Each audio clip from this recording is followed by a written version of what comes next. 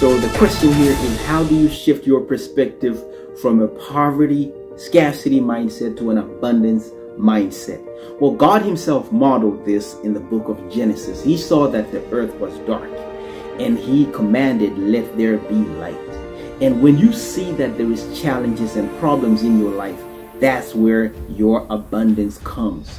Because where you hear problems, it means that you can become the solution to that problem. When you become a solution, when you focus on finding solutions to the problems that you see in your community and commit yourself to providing and being the solution to the problems, then you have shifted your perspective from a poverty, scarcity mindset to a mindset of abundance. Because when you change your mind to start seeing abundance in the problems that exist, then you become the solution to the problem and also become a person of abundance mindedness.